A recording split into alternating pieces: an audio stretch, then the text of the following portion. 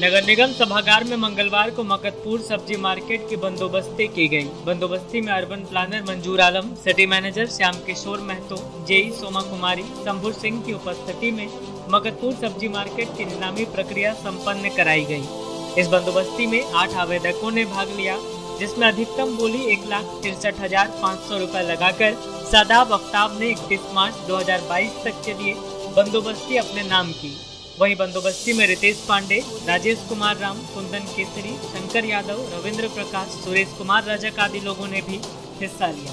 सब्ज़ी मार्केट का आज बंदोबस्ती की कार्रवाई हम लोगों ने किया है।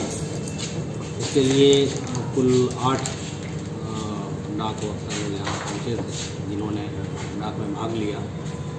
और एक एक लाख साठ हज़ार छः सौ पचासी के ऊपर डाक की बोली देनी थी। आठों में बोली की कार्रवाई करवाते हुए सबसे उच्चतम बोली सदाब आफ्ताब के द्वारा एक लाख तिरसठ हज़ार पाँच सौ रुपया बोला गया। और इस तरह से उच्चतम बोली होने के कारण उनको ये बंदोबस्ती उनके नाम से कर दी गई। कितने कितने दिनों के लिए? ये चौदह आठ दो हज़ार इक्कीस से लेकर के इकतीस मार्च दो हज़ार बाईस तक। सिर्फ़ मगरपुर सब्ज़ी मार्केट या और? नहीं सिर्फ़ मगरपुर सब्ज़ी मार्केट।